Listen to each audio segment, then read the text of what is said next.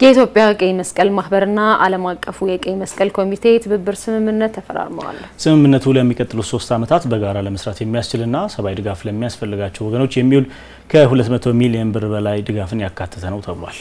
የኢትዮጵያ ቀይ መስቀል ማህበርና የዓለም አቀፉ ቀይ መስቀል ኮሚቴ ለበርካታ ዓመታት በጋራ ሲሰሩ መቆየታቸውን የተናገሩት የኢትዮጵያ ቀይ መስቀል ማህበር ዋና ጸሐፊ ጌታቸው ተአ የዛሬው ስምምነት እንደ ከዚህ ቀደም ሁሉ ሰብአዊ ድጋፍ የሚያስፈልጋቸው ወገኖችን ለመርዳት የሚያግዝ ነው ብለዋል።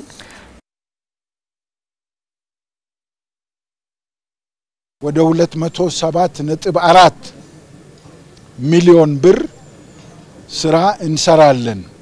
ይሄን ገንዘብ ለኛ ይሰጡናል። እነሱ ለተቸገሩ ወገኖች በተቻለ መጠን ምግብ እና ምግብ ነክ ያልሆኑ ቁሳቁሶችን በተቻለ መጠን ደግሞ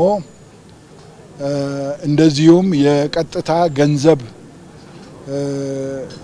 ድልድል ወይንም ስርጭት bank book በኩል ተከፍቶላቸው ይሄ cash transfer የምንለው እናረጋለን።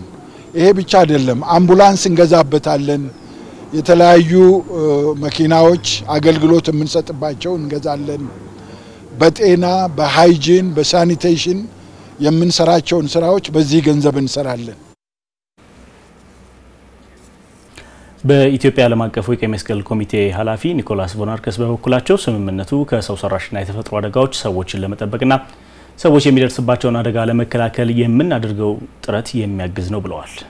የኢትዮጵያ ቀይ መስቀል የሚሰራቸው ስራዎች ማህበረሰቡን ያማከሉ በመሆናቸው ከማህበሩ ጋር መስራታችን ድጋፍ ለሚሹ ወገኖች መድረስ ያስችላል ያሉት ኃላፊው ስምምነቱ ከኢትዮጵያ ቀይ መስቀል ማህበር ጋር በመተባበር የምንሰራውን ስራ የበለጠ የሚያጠናክርልን ነው ሲሉ ተናግረዋል።